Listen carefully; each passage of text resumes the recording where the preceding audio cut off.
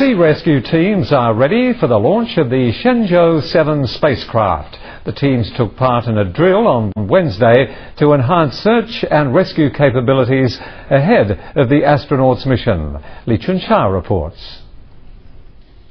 The drill carried out at the mouth of the Yangtze River on Wednesday simulated a rescue operation for astronauts.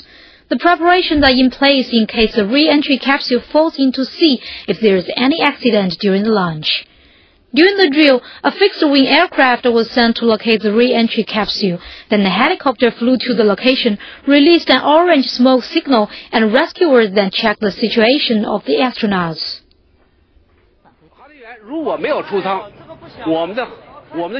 The rescue ship will lift the re-entry capsule to its deck if the astronauts remain inside. We will then open the capsule and help them to get out. In case the astronauts get out by themselves before we locate the capsule, we will use the life net to transport them to the ship.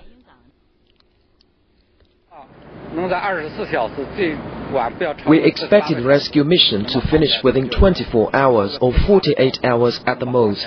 The process took only less than one hour in this drill.